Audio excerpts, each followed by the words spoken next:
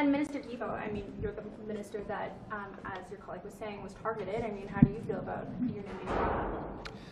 I I mean, this goes beyond me and the fact that I was targeted last night at, at this event.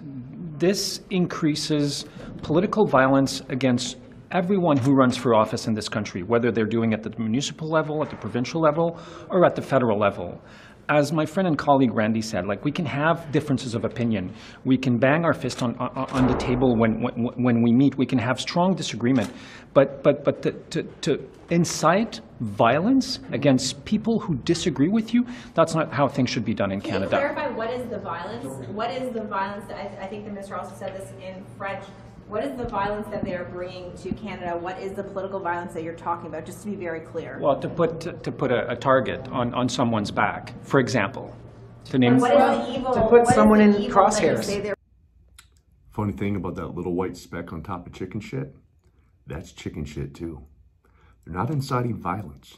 They're just holding your asses accountable for putting our northern neighbor, Canada, into the ground.